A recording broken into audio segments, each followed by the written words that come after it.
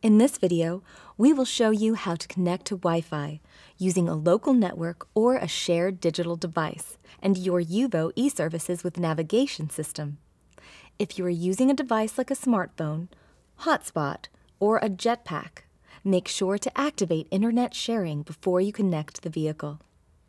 To set up the Wi-Fi on the UVO head unit, start by pressing the Setup key.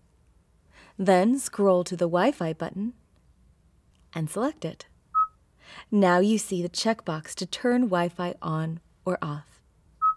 When selected, this will then populate a list of available networks and the MAC address for each.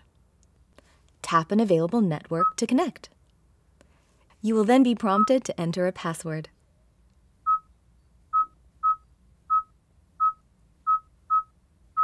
Once the correct password has been entered, press Connect.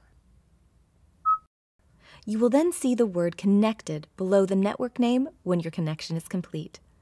Press the circular refresh button to refresh the search of nearby networks. You can also select Help, which will take you to the Wi-Fi Setup Guide.